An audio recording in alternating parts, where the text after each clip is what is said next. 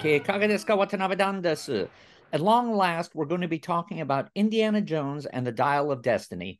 It has finally been released, and I have to admit that I unwillingly went to see it. I was really sure I was going to hate it, and I was going to feel, okay, this is another example of Hollywood burning itself down through a bunch of virtue signaling and and and bad movie making. And I've got to say, that um, I actually liked it a lot. I think it was better than uh, Crystal Skull by a by a very very wide margin. And whatever post production reshoots and cutting they did in order to sort of soften Phoebe Waller Bridge and make Indy less of a doddering old man, uh, sort of like a remake of Harry and Tonto and stuff like that, it, it, it worked to the film's benefit. I'm not saying it's great. It still very much falls into that realm of a of a high probable recommend. And a high probable recommend is very, very bad news for something that is enormously high budget like that because it means you're going to lose money. But overall, do I think that this movie is going to be a notorious capper to the Indiana Jones series, or do I think it's it's it's going to be suitable? I think it's going to be suitable. I think it's it's an okay wrap up for it. However, it does point out a lot of things that are going on in Hollywood right now that I think are very, very, very worth exploring because they are definitely pointing toward the way the industry is going. And I must say a word of thanks to Stephanie Janizek and Lee Scott because both of them, with the one two punch, have given me the inspiration to actually figure out what my thoughts were on this movie because they were very confusing, I have to say, because there were moments of it that got me so angry. I thought I was going to rip the screen up. But overall, there were so many other moments that were like, oh, no, no, no, this is fine. This is fine. I can forgive the bad stuff in it because this good stuff is actually more than enough to compensate for those those momentary irritations. So let's talk first about the mega trend one of the interesting things about the entertainment industry is it always gives both cultural and industry wide signs when there's a lot of stuff about to change very radically. One of those signs is when a bad movie does phenomenally well, because that means it's filling in a cultural gap that even the movie makers might not have been aware was there.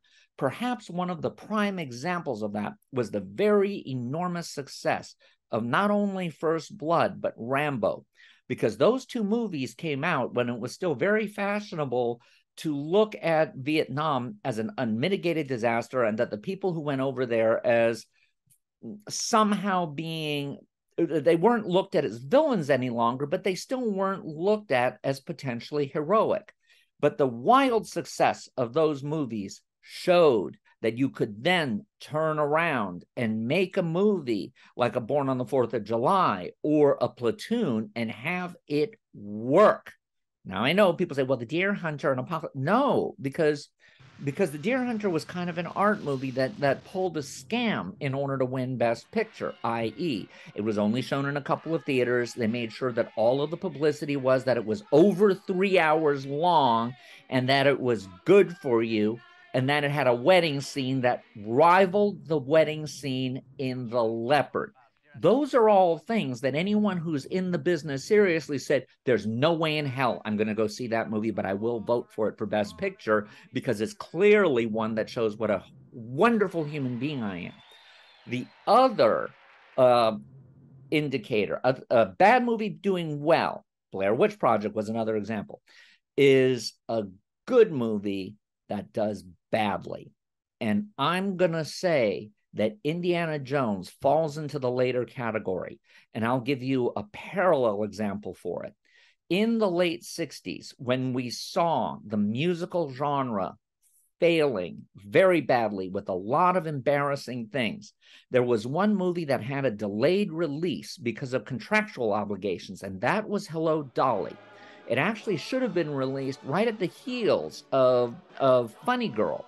But because 20th Century Fox was so eager to get that property because of the success of Sound of Music and before the failure of, of Camelot, that they were uh, willing to be a little bit stupid. And one of the contract stipulations was they could not release the movie until it was done with all of its Broadway uh, playouts, which included all every single old female star coming in and doing it and doing a version. Ginger Rogers, Martha Raye, Ethel Merman, Pearl Bailey, and Cab Calloway, and there was even some witty, uh, uh, bitchy talk about how they would do a version with Liberace. So, so finally 20th Century Fox was able to release it. But by that time, there were so many failed musicals. You had Chitty Chitty Bang Bang. You'd had uh, you'd had Star. You, you'd had Camelot. You'd had so many of these big high profile things just laying the biggest eggs that that that when Hello Dolly came out and it was good, but it wasn't great. In the same way Indiana Jones is good but not great,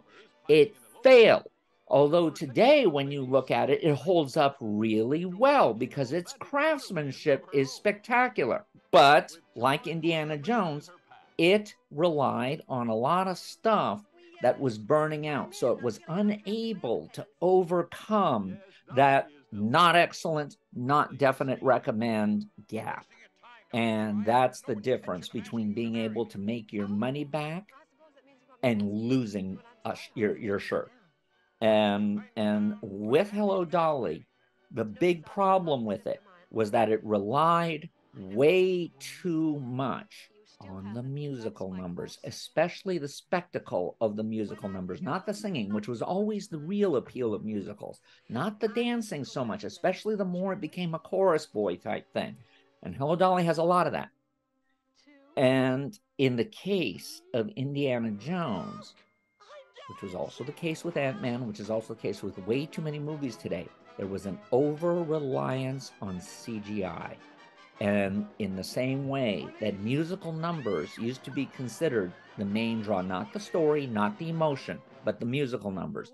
Right now, you have this mistaken notion that you don't need to have a good story. You don't have to need to have good emotional moments. All you need to do is wow the audience in the aisles with spectacular CGI.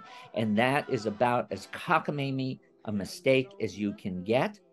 And the things that made Indiana Jones work are not that at all. In fact, the things that made Indiana Jones work were the same things that make Hello Dolly look much better today than it did at the time. And that is that, that the emotional moments do work. Barbra Streisand can still knock it out of the park. And in Indiana Jones, Harrison Ford's ability as an old school star, unfortunately, a generation older than Tom Cruise, so he can't, he really can't do the physical stuff the way Tom Cruise is able to still at the very end of his being able to do it, but he's still there. Harrison Ford's not. And yet, in the moment when he's talking about his son, in the moments when he is actually debating with a Phoebe Waller Bridge, who, by the way, is almost scandalously slandered for this. Now, I know she's probably a pain in the ass in real life, but in terms of the way she works on screen, she works very well. She's no different from Karen Allen or Kate Capshaw in the ability to be kind of a masculine woman, a woman who is is kind of out of step with the era that she's in, which is the 1960s. Remember in in in the indie movie, and and and and and so she she she's actually appropriate, and and her ballsiness is appropriate. She's very Katharine Hepburn in this. I don't like Katharine Hepburn, but but I can appreciate when she works. And Phoebe Waller Bridge works in that way. Now, if they use the alleged original ending where it turned out that Indy's going to stay in the past and she's going to pick up his hat and, and bullwhip and have a montage of her doing all the Indiana Jones stuff because now she's the real Indy. The whole thing would have been, I, I, I would have been one of those people getting up and I would have gone up to the screen and started tearing it up because because that would have driven me so insane and, and filled me with such rage. But whatever calmer heads prevailed and stopped that from happening, congratulations, you saved the movie. So so and and congratulations on whoever got in there as an editor and took out uh, the alleged extra scenes where Indy was made to look like an idiot. They appreciate his age in this. But not only did he have a good scene there, but that last scene right now with Karen Allen, is a perfect button. I don't care if it was shot at the last minute. I don't care if you can tell that it was a last minute addition. The bottom line is it, it it's a perfect, nice, smooth ending to this. And for us altercockers who actually saw the Indiana Jones movies in real time, saw Harrison getting older, realized that it was ourselves. That ending, where you see both sides willing to take a step back, I'm going to say works with its key. Once you work with the key, you can expand to the other audiences. Now, let's talk about what are some of the things that the failure of this movie are blamed on that are false failures. They're they're somewhat correct, but but the nuance of the answer is wrong. And where it's fascinating is because I was in the industry about 10 years longer than both Lee or Stephanie, because I'm just older, um, I have an additional step of knowledge in in in how Hollywood was operating in the past. So I saw what led to the consequences that drive them forward. So so so so that's where I'm going to try to fill in certain gaps today and and and try to explicate what's why some of the the studio spin on what goes wrong and why some of the uh, the common wisdom is just a step off it's not way off but it's just enough of a step off to where enacting an improvement on it might be more difficult area number 1 CGI there's a lot of blame that goes towards CGI right now. That that there's too many movies that rely on it. And I know I just said that, but here's the challenge with it because that that explanation alone is not enough because there's certainly a lot of movies and TV shows that use CGI in a very very expert way especially in more mundane and more run of the mill uh, walk and talk A pictures where you don't even realize it's being done because it's fixing things. It's it's it's it's repairing stuff that might have been a continuity error or or a logic jump, but but but isn't something that's spectacular. So unless you're aware of what to look for, you won't really see it. So where the problem with CGI is, is that it has led to laziness. That is the key because what CGI did is the same thing that digital cinema did. When you don't have to be responsible for film any longer because you don't have that expensive cost of doing additional takes and the, the cost of the raw footage plus the developing plus all the other mishigas plus the video transfer and all this other stuff that you used to have to do then you don't have that sense that camera up is important. So one of my my my friends who's a first AD will complain about this quite loudly that you say camera up and people are still talking and milling about because it doesn't matter. You'll have people do many more takes than absolutely necessary, which has a double whammy. First of all, you're, you're striving for perfection for stuff that really doesn't need it. Uh, sometimes if you have a dolly shot that has a little bump in it, you can fix that in, in, in by, by CGI or even leave the bump. Who cares? Uh, as the great editor Verna Fields said, you cut for performance first, character second, continuity third, and perfection fourth. So so you you you don't have to have the visual that perfect. But what ends up happening is that often in the quest to have the perfect camera work, you now wear the actors out because yeah, you're doing 40 takes of something that's cockamamie and, and not that important. Now, if the actor has to come to an emotional height at that point, they're having to come up with it that many more times. That wears out their inner energy. And plus, even though this has been the norm for the better part of 20 years, old school stuff doesn't go away. And the thought of your director and your cinematographer and no one else looking at you perform, but instead staring at the monitor, detached from you, does not give the actor, whether overt or, or, or subtle, the sense that they're really being paid attention to. They feel like a meat puppet, which is insulting, especially if they've just given a great performance. You say, oh, we had a dolly bump. Sorry, start over. Instead of just letting them finish the scene and maybe use it anyway, or maybe use part of it. There's so many things you can do. So, because CGI is there, you now have sloppiness on the set. You'll have someone do a take and there's a C stand in the shot. Oh, don't worry about it. We'll take it out in post. Or you have a lighting effect that's not correct, or the, the lighting is slightly off. So, so your actor looks a little more haggard than they need to. And the answer is we'll fix it in post. So that continual refrain of it doesn't matter if there's a coffee cup in the shot. It doesn't matter if there's a C stand in the shot. It doesn't matter if we see the shadow of the camera. It doesn't matter if we have whatever the mess up is, we can fix it later. Plus, we can do an, any number of shots because it doesn't matter how many shots we do. People become sloppy. This is why starting people off in low budget is so important.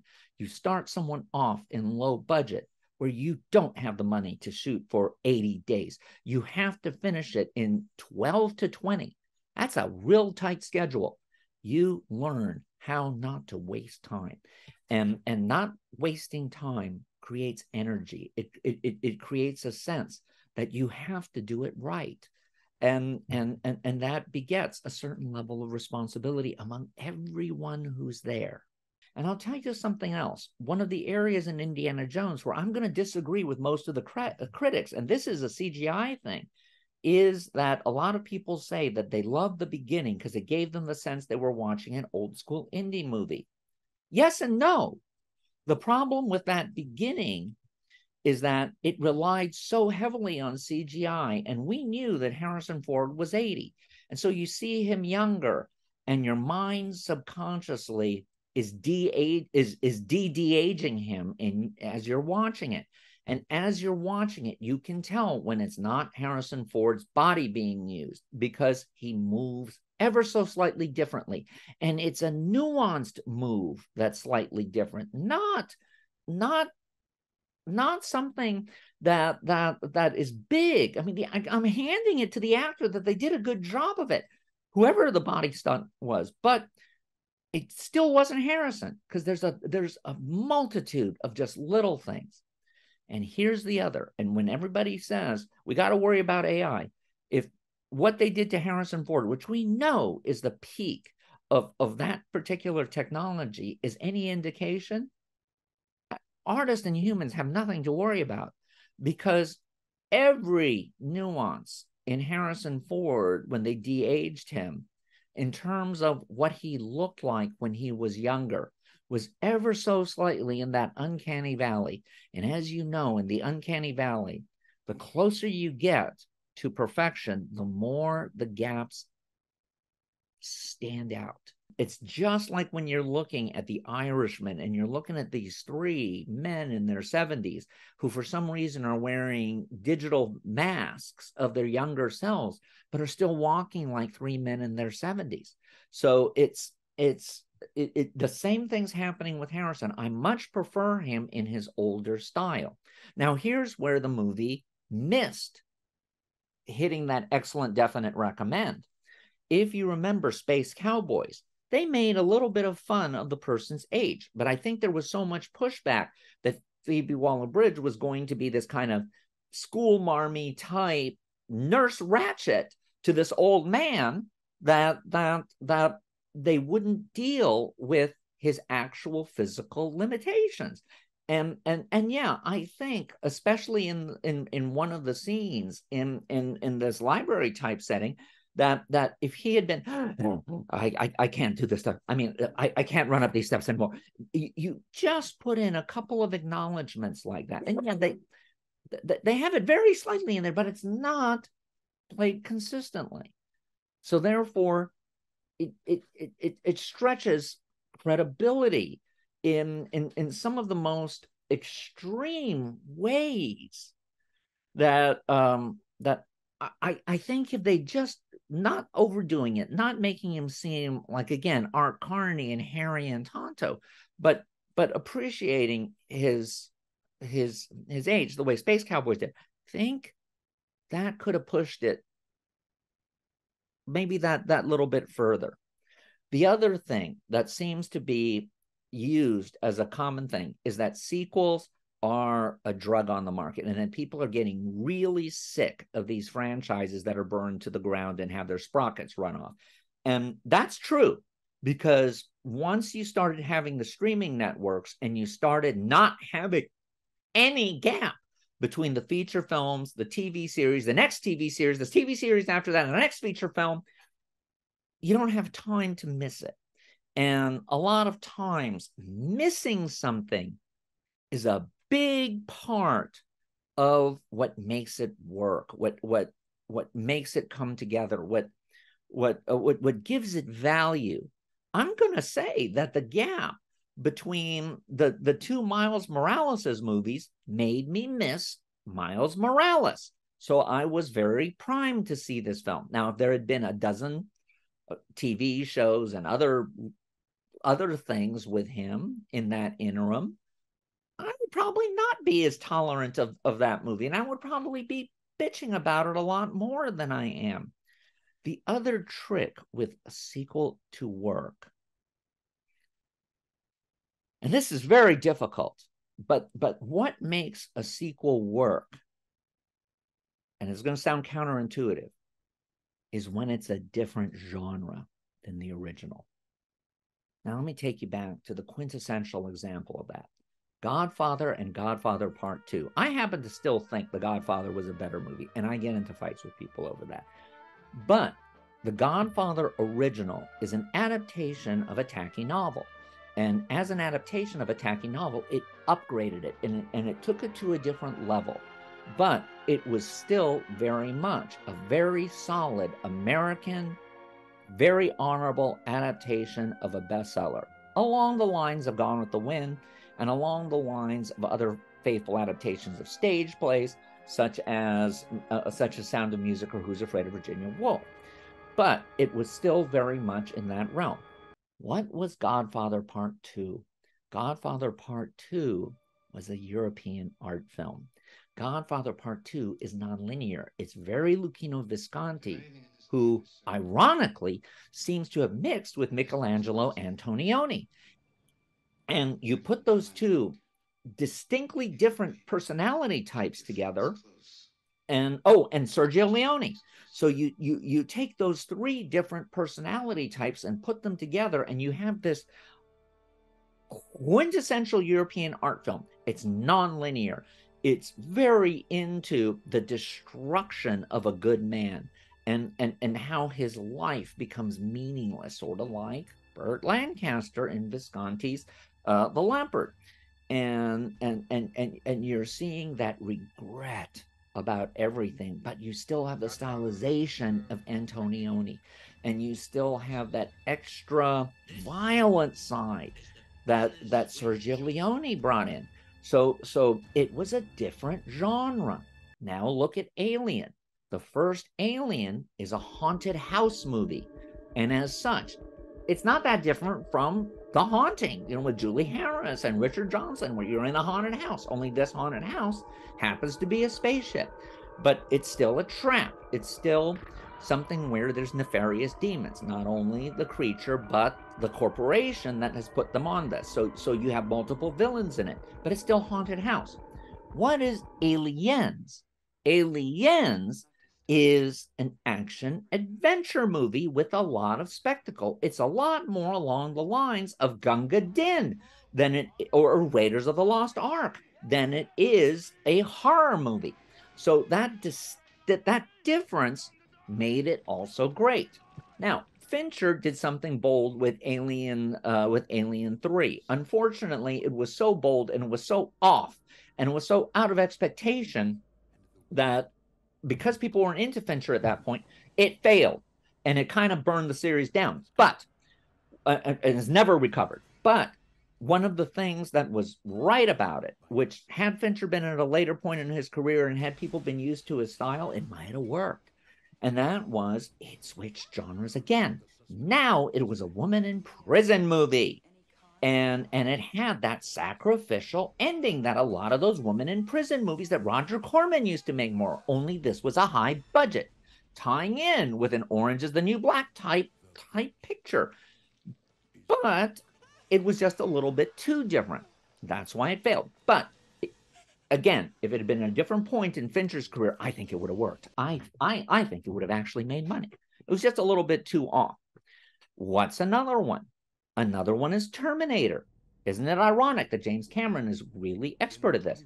The first Terminator is a scrappy, low budget, uh, AFM style horror movie with that was willing to be muckraking as all get out. It was definitely from the realm of Roger Corman and and Hemdale and, and and these companies that were willing to be to go for it in the old Hammer film style, the old I was a teenage werewolf American International style. The sequel to it is very much like Ben Hur. And I know that sounds ridiculously exaggerated, but it is. It's an epic. It takes advantage of the most advanced special effects and bling, and it is the better for it. It holds up beautifully because of that. It was a different genre. Note how every Terminator movie since then has just been a, an abject failure, uh, whether it's a failure box office wise or not, because they did not reinvent the genre. Now, finally, let's go to the issue of the creator in the middle, because there's a lot of stating that that Mangold did a good job as a director on it, and I'm going to agree, but I'm going to also say that he was a problem, and this goes against the current mantra in Hollywood. But I think it's important that we have to look at truth and not at and and not at textbook academia as as as as how to make movies work. One of the things that's wrong with James Mar- uh, Margold as a director he wasn't a jerk. He wasn't an authoritarian. He wasn't um, a dictator. And film sets are not democracies. They're totalitarian regimes. They must be. You have to have someone who's got that real asshole quality to them that it, it can't not be backed by talent. You have to be so good that people will put up with your BS. But you cannot be soft. You have to be determined. You want to know what goes wrong with most directors who get pushed in above their usual pay grade as an attempt to put a checkbox as far as the studio is concerned for diversity and inclusion is that they really don't get how competence and and single-minded almost fascistic determinism is essential to being a good director. What do i mean by that? Where does indiana jones go wrong? Where indiana jones really jumped the shark was very early in the process. And that was the moment when James Mangold didn't throw the interference off the set and risk being fired. That's what a real director will do. If you have a sense that you have the gravitas of taking on this iconographic figure who's one who's who's been the basis of one of the most important heroic character franchises of all time and you have some idiot who happens to have a piece of insider gossip about what happened on the set of some movie decades ago and that can supposedly bring down big people in Hollywood and you let her come on and bully you into destroying a franchise because she thinks it's fun to get back at the men who never took her seriously, I'm sorry, you don't deserve to be a director. There were directors in the 60s of uh, making bad movies like the April Fools who would turn around and go to the producers from the studio and say, Get off my set. and they would hire security to block them, and they would dare the producers to fire them. They're saying they and, and when the producers would threaten to fire them, they'd say, Do it. Do it. I don't care. Because you know why? Because you're gonna make a fucked up movie. And I don't want to have my name on it. Trust me, they weren't fired. Because a lot of this is a kabuki play that that executives will push you. And if you got an insane executive who who does not have as their agenda to make a movie that will be good, please audiences, and make money, they are going to take your career down and you will be the scapegoat. So, where James Mangold was a coward is he didn't bar Kathleen Kennedy or anyone from Lucasfilm from coming on the set. He needed to say, I am directing this movie. You don't like the way I'm doing it? Fire me but he was afraid. So were the people who didn't stand up to Victoria Alonso, and that includes Chloe Zhao. Guess what? It's your own fault your career burned down. You're going to take on the mantle of being a director? You be Cecil B. DeMille. You dare to show up in set on, on the set with a with a safari cap and, and carry a bullwhip and crack it at an actor uh, if if they look like they're not paying attention to you. I'm I note I didn't say hit them. I said crack it at them to let them know, hey, got to do it. That's what makes Hollywood fun. And that's what makes trying to figure out what really made failure happen. Worth debating.